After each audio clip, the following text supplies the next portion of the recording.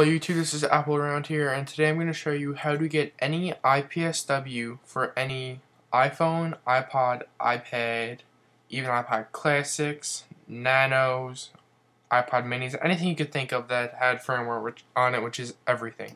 So what you want to do is open up your browser, go to google.com, then what you want to do is type in Felix de Bruns and I just typed it in because it's a lot easier than typing in Felix Bruns dot day slash iPod for iPod slash firmware. So I just go here, click that, and right here you got everything, all the regular iPods before the iPod Touch, all the firmwares. Then they also got Apple TVs, all the iPad, iPad one and two, even the ones the different versions for uh, Verizon and AT and then I got the Wi-Fi because that's different also. iPhone, iPhone 2, then I got iPhone 3G, 3GS, 4, and all the iPod touches here. Even the iPhone 4S is here.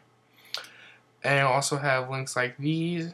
And then, say if you come to an old, uh, say if you go here, it will tell you that it doesn't, Apple doesn't um, supplied anymore.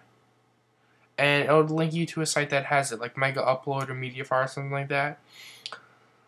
Um, yeah, it's pretty much how to get any IPSW. Just click here. I'll download something I need. I need an iPhone 4 thing for a jailbreak. Just click download, and it downloads directly from Apple. It's a pretty fast download. Depending on your internet, you can get about 1 to 2 megabytes for download speed, depending on how fast your internet connection is. Alright guys, thanks for watching. Um, I'm trying to figure out if it would be worth doing an iTunes card giveaway. I got an iTunes card for Christmas and I really do not need it. And please comment below or send me messages. So if I should do the giveaway, um, it all depends on you guys. If if no one's gonna really want it, then I'm just not gonna give it away. Um, alright guys, thanks for watching. Comment, rate, subscribe, and peace.